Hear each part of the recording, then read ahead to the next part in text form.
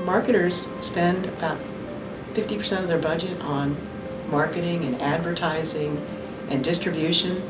You've got independent contractors out there who are fulfilling that function very efficiently. In very crowded fields, the direct selling industry kind of comes to bat for the consumer, helping them find the products which will best help them live better lives. We don't need to lead in conversations with our go-to market strategy.